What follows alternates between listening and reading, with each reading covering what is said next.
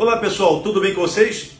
Olha, nós conseguimos aprovar na Comissão de Saúde, que eu sou membro da Comissão de Saúde, o requerimento para uma audiência pública para poder tratar sobre o Dia do Médico Nefrologista. É o primeiro passo para que nós possamos aprovar aqui na Câmara dos Deputados, também no Senado, é a comemoração desta data que será para reconhecimento desta categoria dos médicos nefrologistas.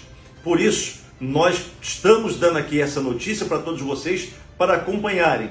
Em breve será marcada audiência pública e nós compartilharemos também nas nossas redes sociais esse dia.